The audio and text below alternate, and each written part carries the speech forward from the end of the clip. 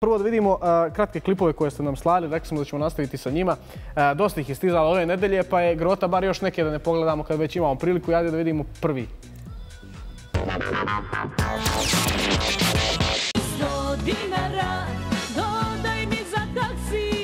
da ti vratim ovih tvojih 100 dinara. Evo ti 100 dinara, radi sa njima. Šta god hoćeš, bulju bi ti tu tvoju nabila. Znaš, u bulju usta bi ti nabila ta klošarska. Razumeš? 100 dinara, više ne vredim kad, kad za ljubav prosim. 100 dinara, sukob, Sale Lux, Stanija. Jesi ispratila ovaj sukob? Da, jes. Pa dobro, vidjela sam da su se već nešto kao spustili loptu da se pomirili.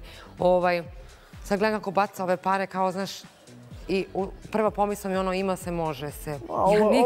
Ovo još kažem ti, kao što smo pričali trenutak kada u prvih mjesec dana se ima dovoljno. Da. Sad kada polako počnu da prave sve veće i veće prekršaje, vidjet ćemo kako će biti. Pa kad bude onako budžet nula. Da, budžet nula. Znači dobiješ budžet za ovu nelju nula.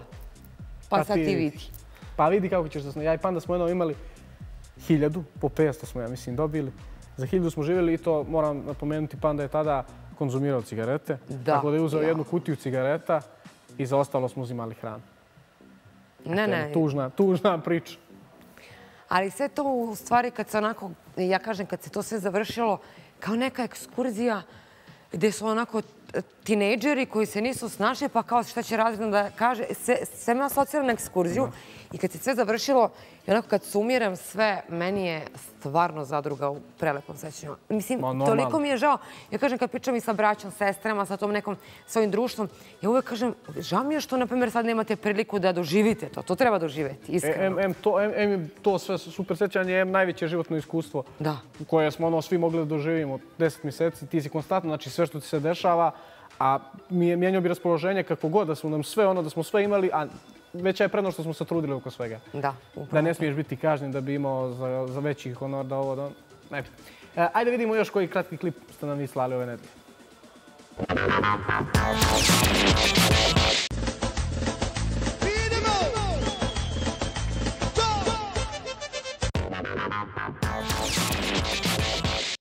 OnlyFans, Žao mi je što Ana Radulović nije tu, ali ukoliko niste, možete je zapratiti i na OnlyFansu i na Instagramu, tako da iskoristite priliku.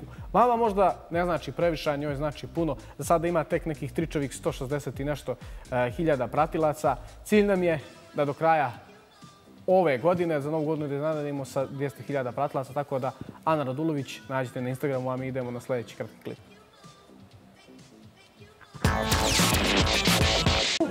Kako se prskaš, a? Ujem. Jebem li vam majku, pičku li vam jebem? I na opet. Da, ne može se bez Zorice Marković. Ne može. Nikako. Da. Da li ti ona nedostaje ove sezone ili ako ne ona, šta misliš ko bi još tu bio dobar da se nađe? Pa meni je Saška Karan, onako, mislim da ona isto meni pre... Da, bilo su neke priče kao ulazi Saška Karan. Da, ona je meni bila prezanimljiva i baš onako ustane kad treba, e, kaže kad treba, napadne kad treba i kad ne treba. Ali nju baš onako volim i ovaj, žao mi je što nije ušla, možda će ući, ne znamo. E, Zorica Marković, pa da, ona ostavlja neki svoj pečet, tako da ono, kapiram da će možda i on u nekom trenutku ući. To je ta, što bi rekli, stara ekipa Mića, Zorica, Saška, Sad i ovaj, Đedović je nekako postao dio svega toga. Da, Đedović je novo lice, ali sigurno lice i mislim da bez njega više zadruga ne može da prođe, ali za njega se ne brinem. Načula sam da će ovaj, uskoro on banuti tamo oko njih, tako da ovaj, ja to jedva čekam, ali kažem ti, eto, Zorice i Saška volila bih da, da, da oni uđu. Dobro, ja mislim da imamo još jedan kratak klip za ovaj segment, pa ćemo onda nastaviti dalje zanimanje. Ako hoćeš da budeš komentator, draga moja, Irma, ne možeš biti komentator tako što ćeš vređati 90% ovog Ne možeš. Sandra! Ako ja imam da kažem njemu mišljenje, Sandra! E, Irma, ona treba da bude ova Miljana Kulić. To, to, Sandra! Pola nisam razumio. Ali kad smo kod svađa, desila se jedna svađa i to nam je highlight. Znaš o čemu se radi? Janjuš car. Car, da. Car Janjuš, da. Tada vi da gledamo i par klipova koje ste nam vi slali na redovan crta pitan za druga i idemo na prvi. Udarite rukama, perisala sam nos, mlati tamo. Skloni se, ajde, ajde brzo. Meni su Candy preinteresantne ove uh, izjave Aleksandre Subotić. To smo pričali pre neki dan kada je rekla ne možeš ti, ti nemaš para da sediš sa mnom. Pa onda ovo, kad je rekla uh, ajde mlatarite rukama tamo, operisala sam nos. Ali kako ona to kaže, ona se stvarno uplaši za nos. Tako da, ovaj, simpatično. E, Kako misliš da će, da će ona proći ove sezone? Šta misliš? Pa meni se iskreno dopada kako se ona postavila za sada. Da, pa onako, mislim, obzirom da je majka dvoje dece, da je onako, e, da ima ozbiljan brak, meni je sasvim okej. Mislim, vidjet ćemo, ali za sad mi je stvarno super. Da, bila je ona nama gošća ovdje, jako drag gost. Dosta puta smo imali dobre komentare sa njom. Vidjet ćemo, nadam se da će još više komentara. Sad vidim da je dosta aktivna što se tiče komentara, ali može na to još. Ajmo i na sljedeći. Deniz, ja sam u- u šoku.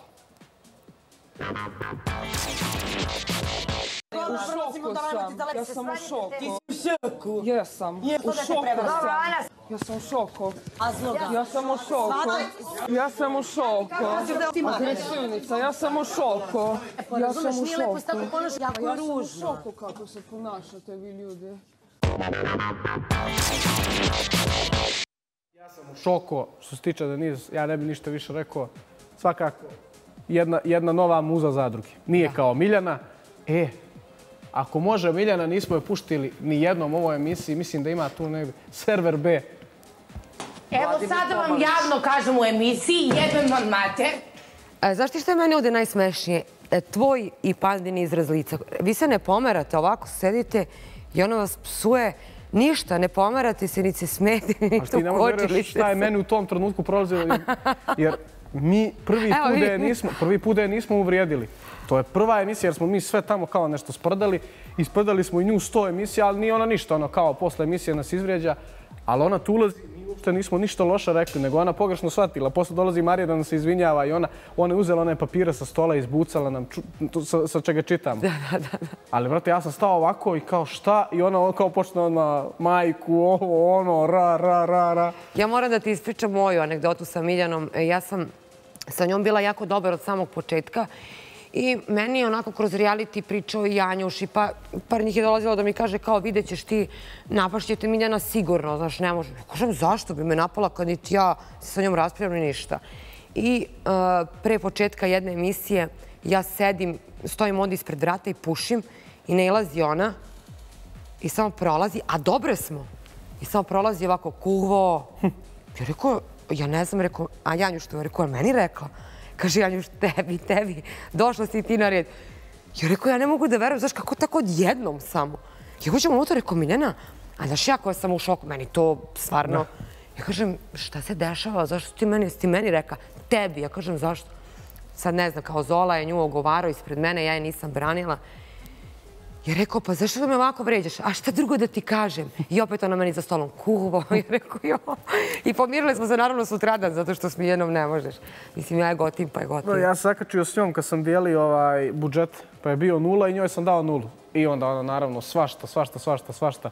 Po meni i uveče dolazi ispred hotela i donosi mi palačinke spremne. E, pa to je Miljana. Tako da to je, to je Miljana u, u jednom danu, takva i kroz cijelu sezonu. Da. A, ajde vidimo i sljedeći kratki whip. Thank you.